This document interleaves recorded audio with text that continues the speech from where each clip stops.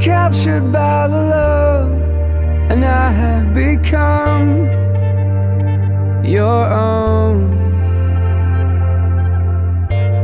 Surrounded by my God, I'm rising above. Where does our confidence come from? Is it just hype? What is the only thing that qualifies you for the holiest place in the universe?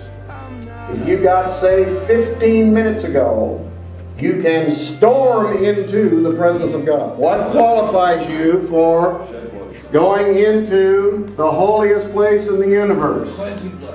The blood of Jesus, period. So we're not to throw away our confidence because it will be.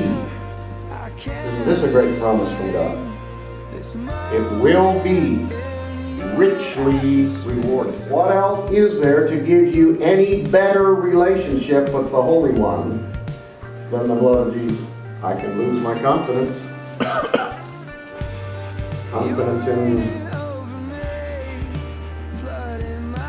being a husband, being a father. See, it's because we put our confidence in a whole lot of other things, guys. And there's only one thing that you really can put your confidence in. This is the gospel, eternal, universal truth that the blood of Jesus Christ alone is what makes you confident before God and in your human life. The Bible says don't throw away your confidence. It will be richly rewarded.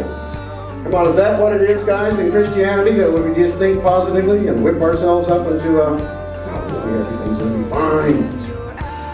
No, the basis of our confidence, verse 19 says, Therefore, brothers, since we have, since we have Confidence. to enter the holiest of all by the what? Blood of Jesus. Period. Has anybody in here ever experienced the washing of the blood of Jesus? Are you looking for something else to qualify you? Welcome to Christianity. So what else you waiting for? What else you think God's got? What else is there to give you any better relationship with the Holy One than the blood of Jesus? Isn't God good? He is just so amazingly fantastic, guys. This God is just brilliant and so totally on your side. God is for you. My eternal plan, vested in sending my son down there to die on a cross, was all about you.